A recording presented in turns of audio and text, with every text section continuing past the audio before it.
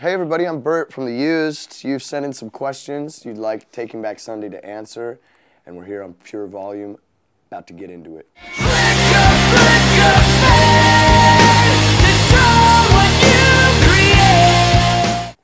How are you guys? Good, great. That's not one of the questions from the kids. I shouldn't answer. But I wanted to know how you are. Oh, well, then I'm glad I answered. So good. Really? I'm so good. So good. Yes. It's Couldn't exciting. be better. Here we go! I'm nervous, I'm nervous. All right, um, Dylan Baker. Dylan Baker. He, uh, he ain't no faker. He wants to know, I've been a fan for over a decade. Thank you, Dylan Baker. There's one question I've always wanted to ask you.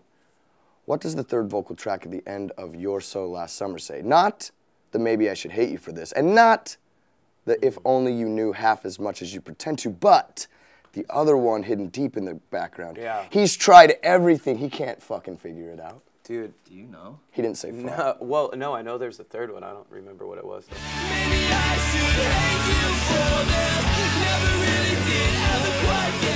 I forgot there was a third one. Yeah, I'd have to go back and listen to it. So Dylan Baker, I'll get I'll get back to you. I seriously doubt Sorry. that. Sorry, I'll get Dylan. back to you on with that one. We will. They will. They'll tweet it. They'll Facebook it. They'll Instagram it. They'll tumble it. Yeah. It'll be in your. It'll be in your uh, inbox. Yeah. On John, John Haiti, blog. oh sorry, Hadley Simmons, or Simons, asks, are there any songs you wish you could play more often but don't because the crowd tends to not get into it? Well, yes, actually. There's a song we have called El Paso.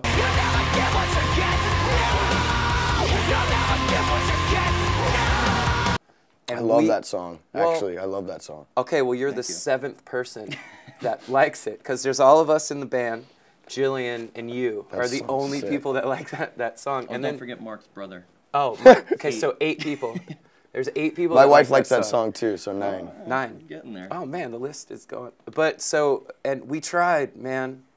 We tried opening with that song for like two years, and everybody would just look at us like, we don't like this song. That's weird. That song's so heavy and dope. That song's a great song. That's Yeah, what I love it. think. Yeah, I don't know. we love it. Get it together, fans. All right, Jesse Bandy asks I have a Taking Back Sunday tattoo, and it means so much to me, but I know there are plenty of others out there with them. So, my question is what's your favorite fan tattoo and why? Hmm. Um, everyone is pretty, pretty incredible. You know, that someone would would uh, like connect with what you're doing like on that level. I have some band tattoos, you know, and, and then I know what they mean to me. So, so to have, yeah, to, to just know that someone, I mean, um, felt what we were doing that strongly is cool. So, I'm gonna say I don't have one favorite one. I think they're all fantastic. What about your band tattoos? What's one that means a lot to you? Well, I have a lifetime tattoo um, that I got. Uh, it was my first job stopper. Yeah, like Yes. below the elbow. Yeah, yeah. And uh, um, it's from the song called Knives, Bats, New Tats. Great song. Um, Dustin Taylor Washburn, or DTW. good name. Yeah. Wants to know Have you guys ever considered playing a smaller venue tour? Every tour we do. yeah, yeah.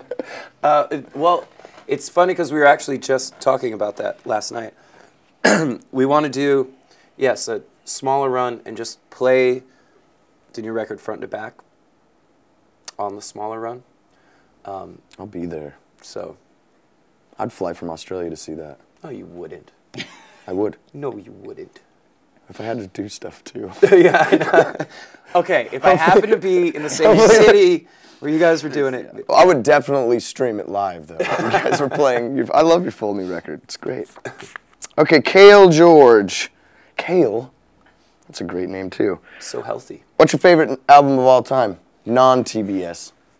Oh. Um, oh. I was about to say happiness is. That's what I was gonna say, man. Whew, man, that's a tough one. Yeah, That's yeah, of, tough. of all time. There's only a few records made.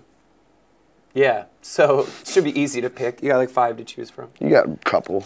Yeah, yeah. It, there's there's we have a lot of favorite records. I like, think as a band, like our go-to, uh, like on the bus, if we can ever get the television off, which is normally, it's really hard to get the television off. Kill your TV, kids. But uh, and we just listen to, and we're just listening to records. We typically we either go for Beatles or Tom Petty. So That's the same with my band. yeah, 100%. We're, we go to Tom Petty. Well, Yeah, it's very reliable. It's uh, hard for anyone to argue with that. I feel like everyone's got to get on board. Favorite Beatles record?